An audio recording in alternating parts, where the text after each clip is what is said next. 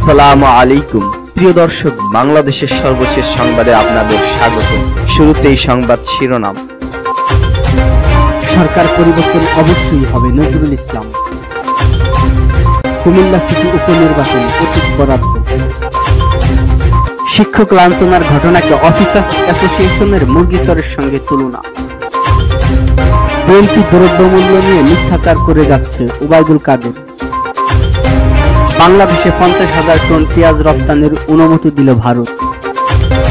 গাজায় নিহত ফিলিস্তিনির সংখ্যা উনত্রিশ হাজার পাঁচশো ছাড়ালো। শুনছিলেন শিরোনাম, এবারে বিস্তারিত।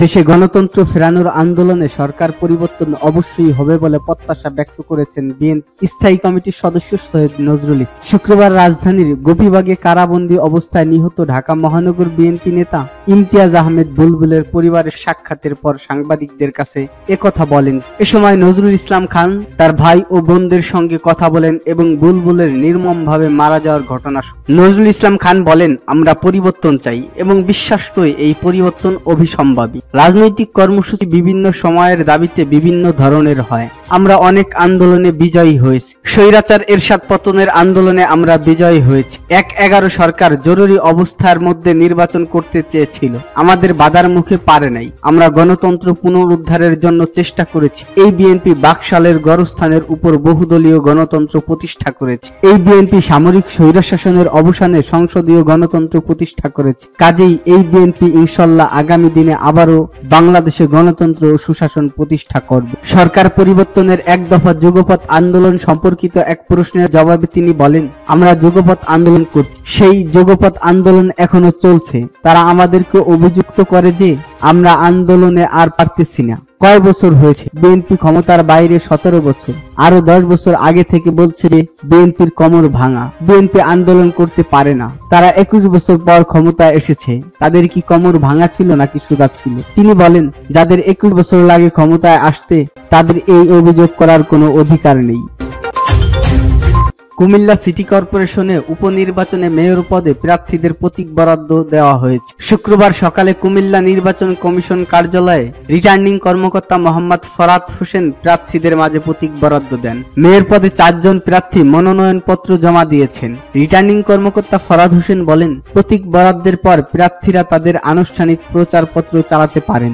আজই থেকেই প্রার্থীদের আচরণবিধি পর্যবেক্ষণে প্রতি তিন ওয়ার্ডে একজন নির্বাহী ম্যাজিস্ট্রেট কাজ করবেন এবং মাঠ পর্যায়ে কাজ করবেন নির্বাচন কমিশনের কর্মকর্তা। এছাড়া সভা, উঠান বৈঠক করতে অবশ্যই পুলিশকে জানাতে হবে। মাইক ব্যবহারের অনুমতি নিতে হবে। কোনোভাবেই এসএসসি পরীক্ষা ব্যাহত হয় এমন কোনো প্রচারণা করা যাবে না। দুপুর দুইটা থেকে প্রতি ওয়ার্ডে একটি মাইক ব্যবহার করা যাবে। কোথাও কোনো খাবার ও পানীয় বিতরণের সুযোগ নেই। প্রচারণায় সরকারি প্রতিষ্ঠান, কর্মকর্তা, কর্মচারীদের ব্যবহার করা যাবে না এবং মনিটরিং কমিটিতে প্রার্থীদের প্রতিনিধি থাকবে। আগামী নয় মার্চ এ ভোট গ্রহণ অনুষ্ঠিত হবে। কুমিল্লা সিটি কর্পোরেশনের দুই লাখ বিয়াল্লিশ হাজার ছয়শো আটানব্বই জন ভোটার তাদের ভোটাধিকার প্রয়োগ করতে পারবেন।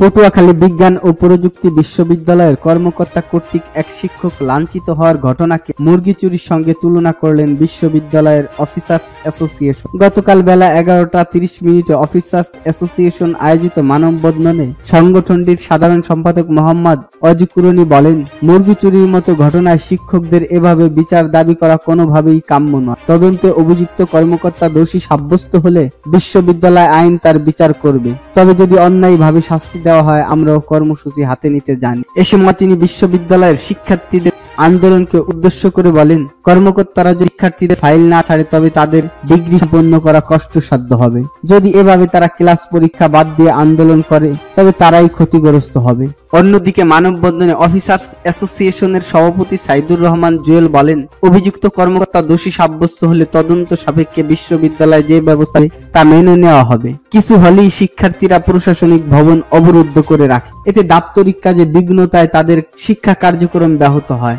অন্যদিকে এই ঘটনায় টানা চতুর্থ দিনের মতো অভিযুক্ত কর্মকর্তা শামসুল হক রাসেলের চাকরিচ্যুতির দাবিতে আন্দোলন ও অবস্থান কর্মসূচি পালন করছে বিশ্ববিদ্যালয়ের শিক্ষক সমিতি পাশাপাশি সাধারণ শিক্ষার্থীরাও আজ ক্যাম্পাসে রাসেলের বিরুদ্ধে অবস্থান কর্মসূচি পালন করেন। এ সময় তাদের ক্যাম্পাসের বিভিন্ন স্থানে রাসেলের বিরুদ্ধে দেওয়াল লিখন করতে দেখা যায়। প্রসঙ্গত, গত সতেরোই ফেব্রুয়ারি রাতে বিশ্ববিদ্যালয়ের কর্মকর্তা শামসুল হক রাসেলের বিরুদ্ধে সহকারী অধ্যাপক মোহাম্মদ নজরুল ইসলামকে মারধরের অভিযোগ ওঠে। তারপরে রাসেলের চাকরি চুক্তির দাবিতে টানা চতুর্থ দিনের মতো ক্যাম্পাসে ক্লাস পরীক্ষা স্থগিত রেখেছে শিক্ষক ও শিক্ষার্থীরা।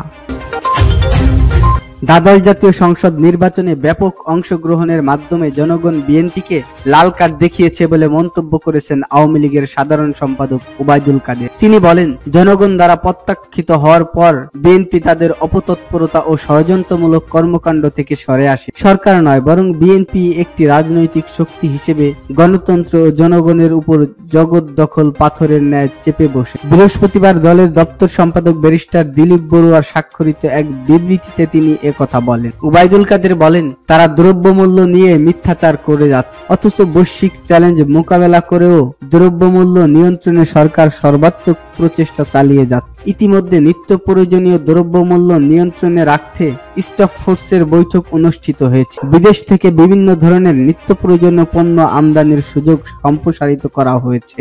আমরা জনগণকে আশ্বস্ত করতে চাই, পবিত্র মাহে রমজান মাসে দ্রব্যমূল্য সহনীয় পর্যায়ে রাখতে সরকার সব ধরনের পদক্ষেপ গ্রহণ করবে। পৃথিবীর ইতিহাসে বিরল, বীরত্বপূর্ণ সংগ্রামের মাধ্যম দিয়ে বাঙালি জাতি ভাষার মর্যাদা প্রতিষ্ঠা করেছে উল্লেখ। তিনি বলেন, ভাষা আন্দোলনের মধ্য দিয়ে বাঙালি জাতির মানুষ পটে যে জাতীয়তাবোধের উন্মেষ ঘটেছিল, বিএনপি ধারাবাহিকভাবে সেই আদর্শ ও চেতনা বিরোধী রাজনীতি করে আসছে। যে কারণে তারা সর্বদাই মহান মুক্তিযুদ্ধের আদর্শ ভিত্তিক গণতান্ত্রিক ও সাংবিধানিক প্রক্রিয়াকে বাধাগ্রস্ত করার অপতৎপরতায় লিপ্ত রয়েছে। তারই ধারাবাহিকতায় বিএনপির নেতৃবৃন্দ আজ সরকার বিরোধী সমালোচনার নামে মিথ্যা তথ্য উপাত্ত উপস্থাপন করে জাতিকে বিভ্রান্তি করার উপচেষ্টা চালাচ্ছে গাজা উপত্যকায় সাত অক্টোবর থেকে চলমান ইসরায়েলের প্রাণঘাতী হামলায় নিহতর সংখ্যা শুক্রবার উনত্রিশ হাজার পাঁচশো ছাড়িয়েছে। ফিলিস্তিনি ভূখণ্ডের স্বাস্থ্য মন্ত্রণালয় শুক্রবার এ তথ্য জানিয়ে মন্ত্রণালয় বলেছে, গত চব্বিশ ঘন্টায় একশো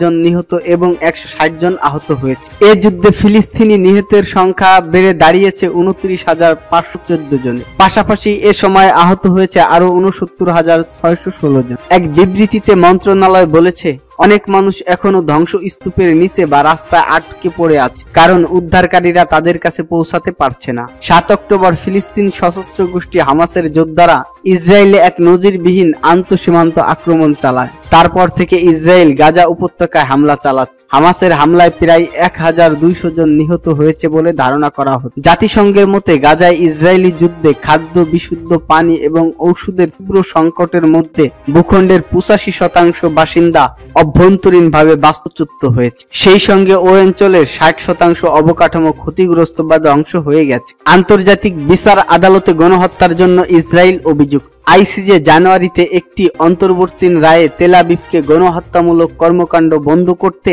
এবং গাজার বেসামরিক নাগরিকদের মানবিক সহায়তা প্রদানের নিশ্চয়তা দিতে ব্যবস্থা নেওয়ার নির্দেশ দিয়েছে।